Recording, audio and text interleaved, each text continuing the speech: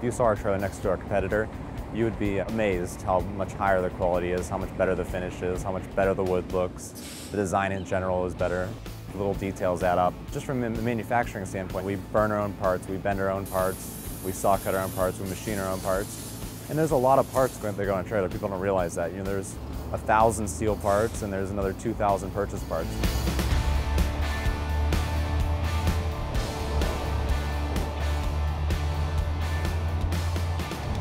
Our big challenge is we're all new to the manufacturing sphere. Globe Trailers 2017 doubled our production, and in 2018 we want to do the same. Globe Trailers chose the 3D Experience platform on the cloud because we have a globalized engineering team. We wanted to use something that wasn't hindering our progress, instead it was supporting our progress. In the past, uh, to ship information, I would have to export uh, analyses, um, transfer the files that were, could be very large, and then uh, they'd have to import them. This workflow is much smoother uh, and makes it easy uh, to share that type of information and for everyone to collaborate quickly. Engineers are always thinking over the, their problems, you know. Generally, I could be anywhere and I can get on 3D Experience, start to model it or sketch something out. And to be able to do that at any time is pretty powerful. Time is very critical for us, so we have to make our trailers on time no matter what. So if there's an issue, we have to solve it within hours at least.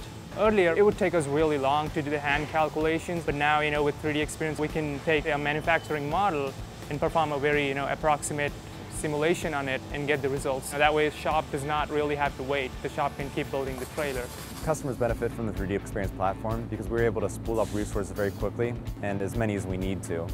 Uh, that gives us more output. We get to refresh designs, we get to close problems out quicker, uh, and everybody's working from the same single source of information, so we can all keep that group going.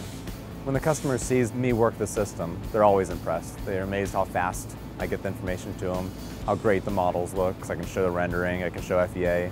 Everything's in that model space, and that's very powerful and very impressive for the customer. Our goals with the 3D Experience now are to educate all of our users, so when a user logs into the trailer, he sees why that hole is there, how, why the flange is that size. He can actually go and visualize the engineering information inside the platform and then make better choices and inspire him for future choices.